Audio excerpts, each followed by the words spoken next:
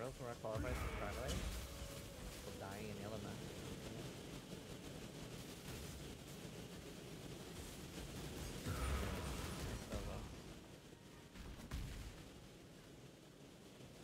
Just for them to save their asses while still profiting off it, yeah, I.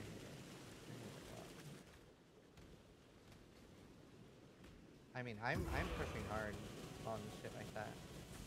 I honestly, straight up, think slots should not be allowed on Twitch. Like slots in particular should not be allowed on Twitch, in my opinion.